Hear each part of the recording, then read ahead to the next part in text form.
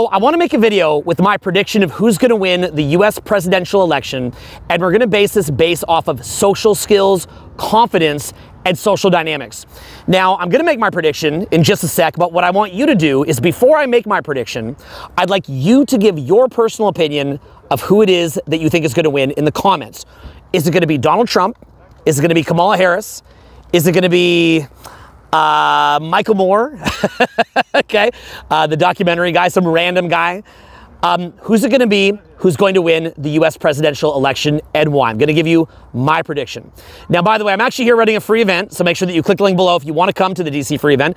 Austin, Houston, Dallas, LA, Vegas, and Phoenix are up next right after. Click the link if you want to come. And the reason that I'm here in DC specifically is I personally get a lot of inspiration just being out here. It's just a beautiful, beautiful place to come and visit. Um, I'm literally going to be posting this from my phone as soon as I finish recording. And uh, I just love the Capitol. I think it's freaking stunning. I really, really, really like it.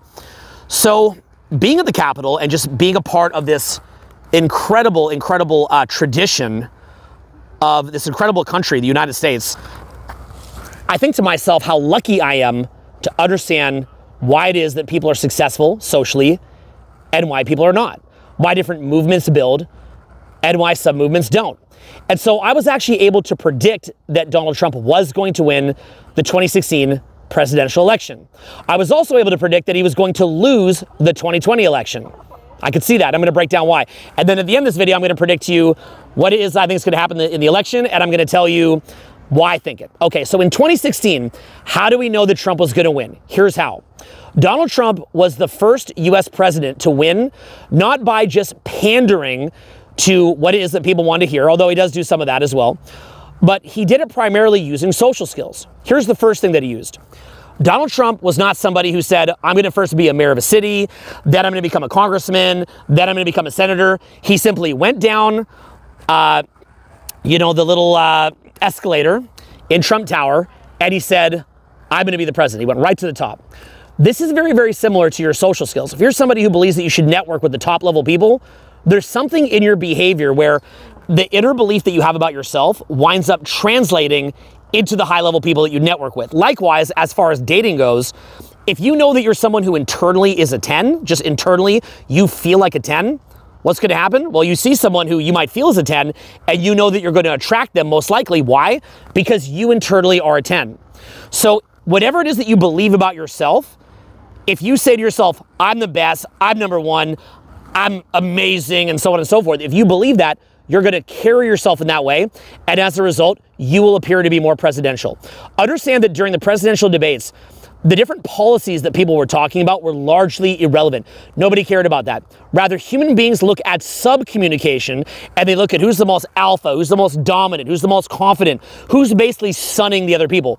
Well, what you saw with Trump was he'd be talking to Jeb Bush and he'd go, oh, low energy Jeb. And then Jeb would try to keep up with Trump, but Trump wouldn't let him do it. He would just go, oh, good job. There's a little more energy, little buddy. He didn't care at all. Or he'd be talking to Ted Cruz. He'd go, lying Ted Cruz, Bible high, Bible high. And then he lies. Or he would see Kasich and he would say, small hands Kasich. And he would just start mocking him and making fun of him. And the entire subcommunication during the debates was basically just a showcase of a man who viewed himself as a leader, a man who viewed himself better than everybody else. Nobody could pay enough attention to the policies. Nobody cared. What they looked at was who was the alpha. And as a result of that, you knew that Trump was likely to win.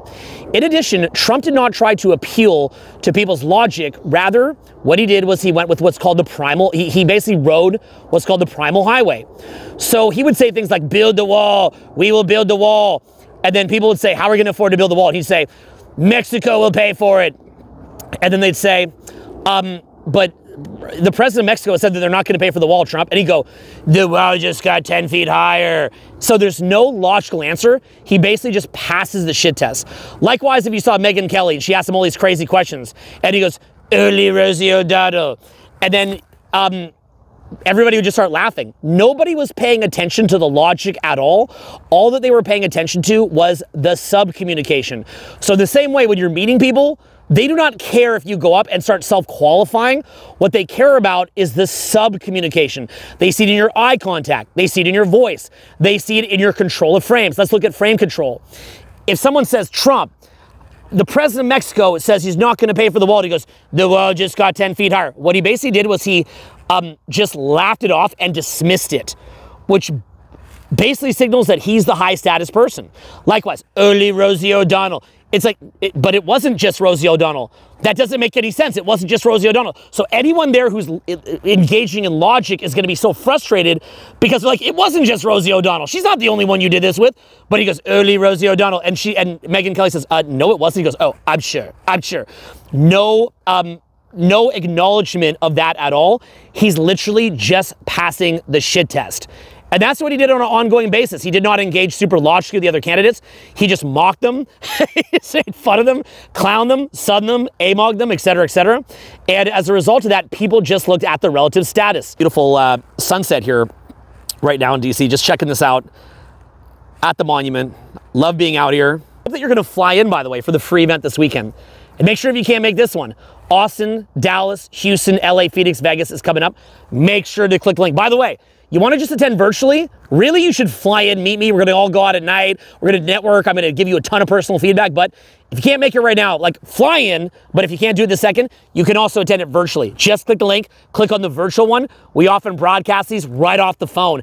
Uh, we go to the mic right to the phone. It's actually pretty awesome. You can watch it live and see all the comments. It's sick. Make sure that you get in the free tour. But ideally, try to fly out here to, to DC. It's a full two day event. It's going to be so sick, okay? Anyway, let's keep going. Now, let's look instead at the 2020 election. And how do we know that Trump was probably going to lose? Well, the thing that basically happened is Trump, look, God bless the guy for a lot of things that he does well. But one of the things that he struggles with is he sometimes can be too approval seeking when people poke at his record. And so what'll happen is um, his opponents will deliberately misquote him and cut him out of context, and he just can't help himself. He has to, to respond to it and become defensive. He just can't help it. So when he was debating Joe Biden, what you saw there was Biden would poke at him and pretty much lie about him for the most part, and Trump couldn't just laugh it off and mock him and make fun of him. Um, he kind of just looked a bit like an angry old man and was way too defensive. And so what happened also is that Trump is very, very good at appealing to his base. But the thing is, elections are not always won by the base. That's just what gets you to be the representative for the Republicans or Democrats. But what happened was he. Uh, he didn't understand that he's appealing to people at the center who don't have the context that his base has. So what would happen is um, the Democrats, uh, Biden particularly, but Kamala did it later, we're just a lot better at making him look insane, make him look totally crazy. And all they have to do is simply just poke him at his record or say things that are, that are that are false, which then makes him angry because he feels like he's being lied to. And what winds up happening is he just looks like an angry old man, very, very defensive, like, I'm the best. Uh, no, it's, it's just, you're, you're lying.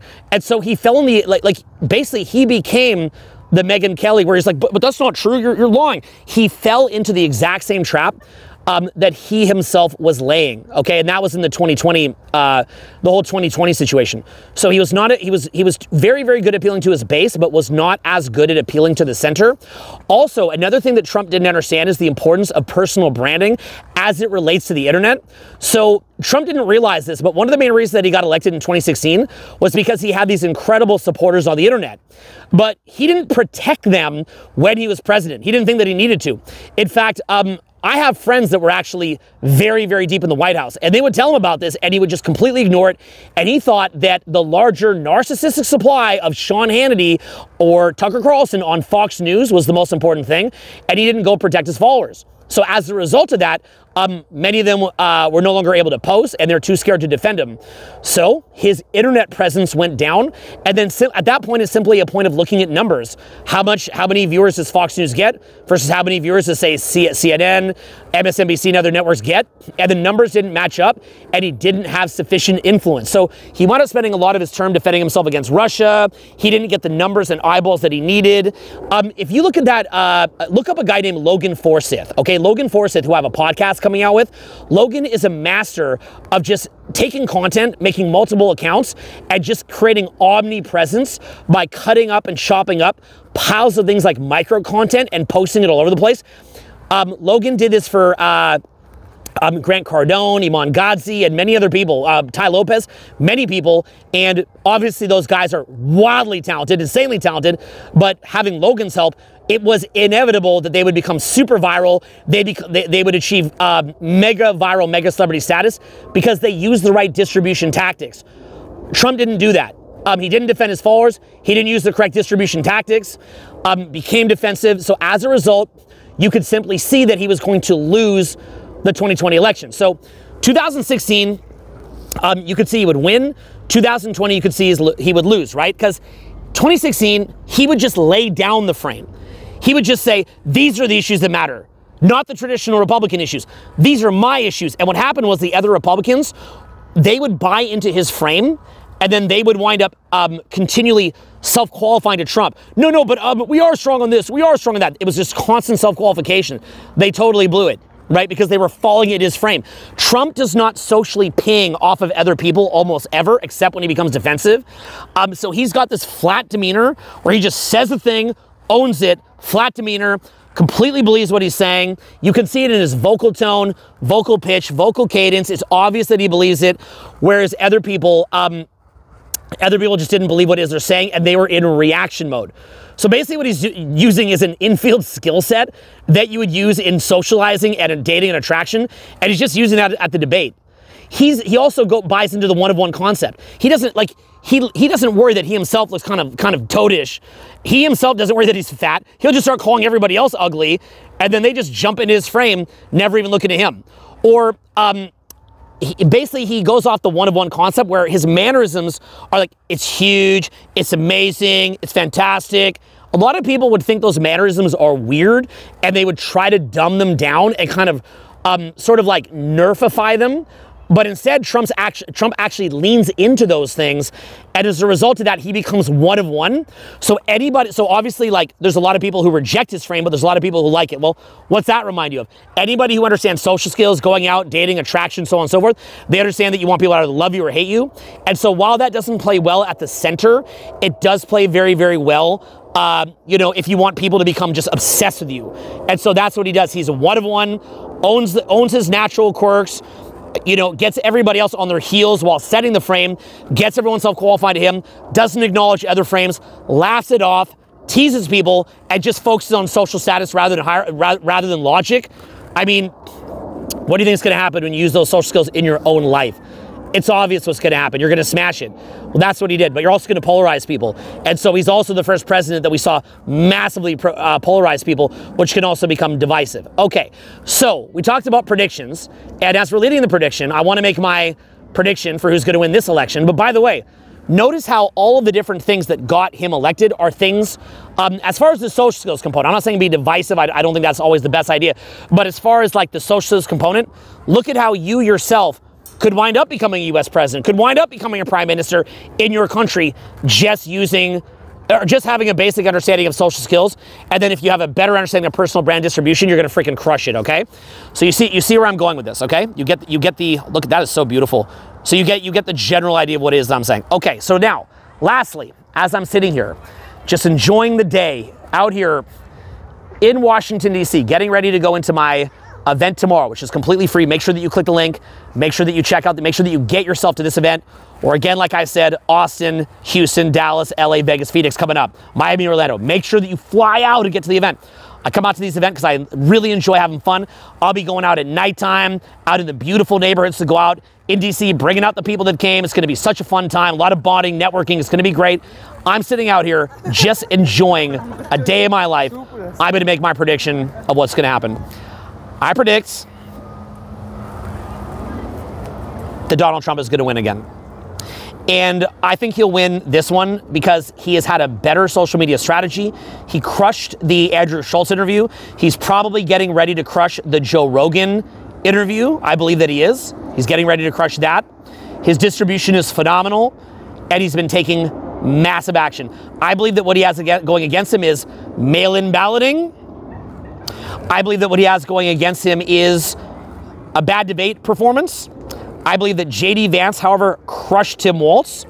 So that is potentially uh, kind of balancing it out. Funny enough, the uh, JD, the the Walz versus Vance debate was actually what a presidential debate should have looked like. It's like could this just be the normal debate, the, the normal debate? Um, but Vance did edge out Walz for sure. Um, I think that's a I think that that's a hot advantage. And I just think the social media strategy overall is better. Apparently, uh, Barron Trump has actually been the one uh, promoting his father, you know, to go and to go ahead and uh, to go ahead and do a uh, more social media strategy. Okay, so that's going to be my prediction. I believe that. Um, I personally think that the better, uh, better use of social media, uh, putting himself out there, getting on a big podcast, having simply a more active and engaged uh, run as opposed to Kamala, who's largely hidden, will. Um, oh, also the JD Vance thing.